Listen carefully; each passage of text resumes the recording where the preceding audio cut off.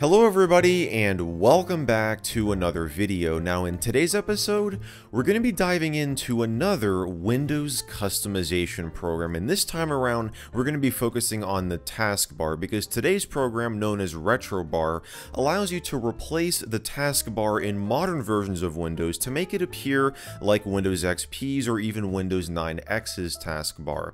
I'll have the link to this down below if you want to go and check it out. It's hosted over here on GitHub. This is a free and open source source piece of software. And I got to give a huge thank you to Kris for sending me this video suggestion in an email. And once I actually looked into this myself and tried it out, I thought this would be right up this channel's alley. So yeah, we're going to be checking it out today and seeing uh, what it's all about. What I found really cool about this too is this is developed by at least one of the contributors to this project is dremin, aka Sam Johnson. This is the current maintainer of the Cairo Shell project. Now Cairo Shell is a program that we took a look at over a year ago on this channel in early 2020. So if you've been watching this channel since then, that may ring a bell. But if you haven't seen the Cairo video, if you have no idea what Cairo is, you can go check it out up in the cards. But this is a user interface modification for Windows that gives Windows 10 a more macOS or Linux style interface. But today we're focusing on RetroBar, and this right here is what it looks like. And to be totally honest with you guys, and you're going to see in a minute here once I install this program, it literally looks like somebody just ripped the taskbar out of Windows XP or out of Windows 9X and dropped it here in Windows 11. It's really, really cool. And yes, this also works on Windows 10. We're just using the latest build of Windows 11 today. So without any further ado, let's get right into it. So to download this, you want to go to the releases area over here. And as of this video, the latest version is 1.3. So you want to download the retrobar.zip file here. Uh, and there's no setup executable or anything. You just open this up and you want to extract the single executable from here.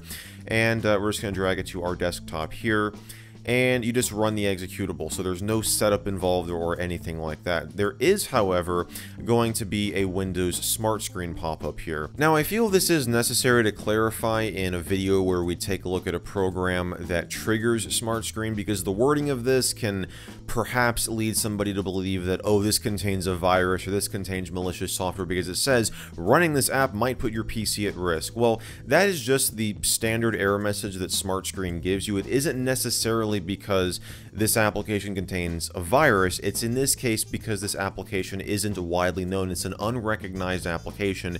Windows doesn't know what it is, so it triggers SmartScreen in this case just to warn you to use caution. Uh, but here are the VirusTotal results for this executable. If you were wondering, it is completely clean. And again, the application is open source, so you can examine the source code if you want to. But we're just going to run it here. So you want to click on more info here and click on run anyway to allow the program to execute. And I wanted to show you what would happen if you didn't have .NET Core installed. This program relies on .NET Core, and if you don't have it installed, you'll get this error message right here that prompts you to download it. So we're going to click on yes, since we don't have it installed in this VM, and it opens up the download page here. So you just want to scroll down, make sure you're under the Windows tab here, and in this case, we're going to download the x64 version. Once it downloads, you just want to open the file here and go through the installation process, which is very straightforward. Uh, you just want to click on install here, authenticate with user account control. So we'll say yes. So it's finished. We're going to click on close and there is no restart required. All you want to do is just run retrobar again and this time it will actually execute and you see it will hide the Windows 11 taskbar and open up retrobar. Here it is guys. Now what I really love about this program, my favorite feature is how it modifies the taskbar buttons because the buttons themselves look uh, just like they were ripped out of, in this case, Windows 9X and dropped here in Windows 11. The only thing that stands out is the system tray because the icons do not get changed. So you have the same icons over here, and on certain themes, so let's right click on it and go to properties here, and this is how you change the theme. We'll touch on all the options in here later, but on certain themes like the watercolor theme, for instance, yeah, it is pretty difficult to see some of these icons down here. But for other themes like the Windows XP blue or the Luna theme, the blue variant of the Luna theme, they show up just fine, but they still look out of place. So the system tray is really the only thing that doesn't get modified, at least in terms of the icons. And you can also turn on collapse notification area icons to give it that little uh, pop-out button right here that you had in Windows XP. Now there's no animation like you had in Windows XP where the icons would gradually slide out and gradually slide back in. Uh, it's just a static change, but still it looks pretty good. And honestly, I would rather keep this on so that you still get the functionality of being able to hide your uh, system tray icons. So going back to the properties panel here, the other options you have are to have RetroBar automatically start when you log on, so you can check this here. You also have the ability to hide the clock. So if you don't want the clock showing down here in the system tray, you can just uncheck this here. And again, it is instantaneous. It takes effect automatically. So there you go. Show, hide, show, hide. Uh, one thing you lose the ability to do is access your calendar by clicking on the clock down here. So normally, if I close out of RetroBar here, I can click on the time and date and get access to the calendar. And in this case, since we're running Windows 11, the notification center as well. When you have RetroBar running, you lose that functionality. So now if I click on the clock, nothing happens. I can double click on it, or I can right click and select adjust date and time to open up the date and time properties. But to be fair to RetroBar, that is how this works in Windows XP. There is no calendar when you click down here on the clock. So technically, it's mimicking that functionality. So I just found that kind of interesting. But yes, you, you lose that ability there, but you also have the ability, if we open up the properties window here, to uh, show or hide the quick launch. So if you don't want the quick launch to show down here, you can turn that off. And you can also change the location. Now, this is not going to change the location of the quick launch area itself, but this allows you to change what folder that quick launch is utilizing. Say we want it to be the desktop here, we can select that folder. And now it will show all of my icons on the desktop here, even the ones that are hidden at the moment. Uh, so yeah, you can make the uh, quick launch like super large if you want to. But uh, yes, and taking a look at the other themes if you were curious. We touched briefly on the water watercolor theme, but here's what it looks like. And again, the buttons definitely look uh, just like it was something ripped out of one of the early Whistler builds. Uh, here's Windows 2000. Here is Windows Me. So Windows Me and Windows 95, 98 are two separate listings here because the color scheme slightly changes there because Windows Me's taskbar is going to look more like Windows 2000's because that's what they were going for in Windows Me. And you can see as I shift through all of these different themes here that not only does the taskbar obviously change, but the font of the start button, the taskbar buttons, and even in the properties panel here all change. So that's a, a nice touch as well. Uh, one of the other things, let's just set this back to Windows XP Blue here, and we'll turn off Quick Launch to get rid of all these icons.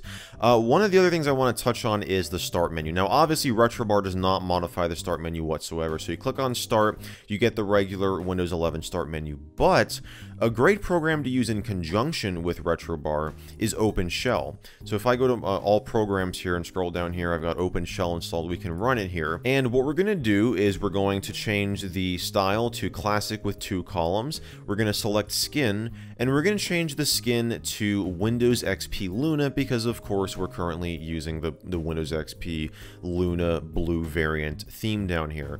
And uh, now you can change the skin variation in OpenShell here, but there are not the other variations of the Luna theme in RetroBar. So you only have, again, if I open up properties here and show you, only have Windows XP Blue and XP Classic. But I think out of all the ones to include, XP Blue is definitely the best option because it is the most recognizable and the most iconic because it was the default theme. So we'll close out of that.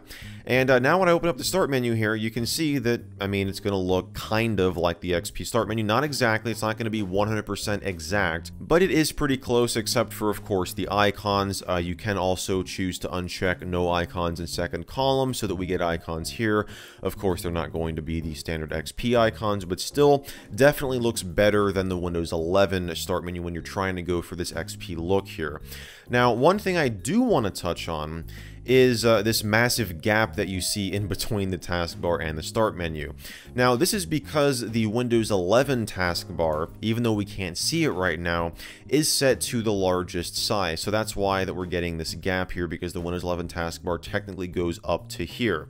Now, unfortunately, as I mentioned in my last Windows 11 build demonstration video, which I did uh, last month or a couple months ago, Microsoft has removed the ability to change the taskbar size, at least in the latest Windows 11 build. It's possible that feature could be reintroduced in the final release of Windows 11, but right now it has been completely removed, so you can no longer change the taskbar size. At least from the settings application, because there is a registry key you can add to the Windows registry to manually change the taskbar size. There's actually three sizes to choose from, and this trick does work in the current, the latest development build of Windows 11, but again, there's always the possibility that that could get removed in the final release. So I'm going to show you how to do that here. So you want to open up the run prompt, type in regedits, open up the registry editor, and we'll say yes here to user account control. And you want to go to HKey current user, software, Microsoft, you want to go to Windows, you want to go to current version, and you want to go to Explorer and advanced. And in here, you want to right click and add a new DWORD value. And you want to call this taskbar, if I can spell right, taskbar SI, just like that spelled with the T and the S capitalized. Press enter, double click on it, and you want to make sure the value is zero. Now the default value is going to be zero, but there are three different sizes to choose from, small, medium, and large and that's represented by 0, 1, and 2 respectively. So in this case, we're going to set it to 0 to make it the smallest size. We're going to close out of the registry editor, and we're going to open up Task Manager, and if you have a Windows Explorer window opened, we'll just click on it here, and Task Manager will give us the option to restart Explorer. You can also manually kill the process or just log out of your Windows session and log back in. And now, if I close out of this and I click on the Start menu here, you'll see that there is no longer that massive gap in between the taskbar and the start menu. There is still this really tiny gap here. It's not really that noticeable, but if you are looking for it, you will see it. And that is because the Windows 11 taskbar, even in its smallest size, is still a hair larger than Retrobar here. So I can uh, exit out of Retrobar here, and you can see there's that little hair there. If I click here again, now there will no longer be that gap. So yes, Retrobar is not exactly the same size as the smallest Windows 11 start uh, or taskbar, but it is pretty close. And this is the case for all of the included themes. Windows XP Blue is actually the tallest one. If I change this to Windows 2000, you see it will shrink by just a hair, and that gap will become just a hair larger. And all of the other uh, included themes are exactly the same height. So you see if I scroll down here through all of them, Windows XP Blue is the uh, the tallest one. But yeah, there you have it, guys. That is a brief demonstration of Retrobar, a very cool piece of software. Like I said, I thought it was right up this channel's alley, and honestly, this does a much better job than OpenShell does at modifying the taskbar. Now, you may remember a couple years ago, actually back in 2019, I did two videos on transforming Windows 10 into Windows XP, and in that video, we used OpenShell for the start menu to get this start menu right here, and we also used it to modify the taskbar because it does give you the ability to select the taskbar texture as well as a start button image. It does not, however, give you the ability to change the design of the buttons, and that's what I really like about Retrobar here. So I think if you're wanting to theme Windows 11 or Windows 10 and make it look more like 9X or Windows XP, this is a program that you have to check out for sure. So I hope you guys enjoyed this video. If you did, be sure to give it a thumbs up. Be sure to get subscribed down below. Turn on those notifications if you haven't already to get notified whenever I upload a new video, which I do multiple times every single week on this channel. And as always, I want to thank you all so much for watching, and I'll see you in the next video.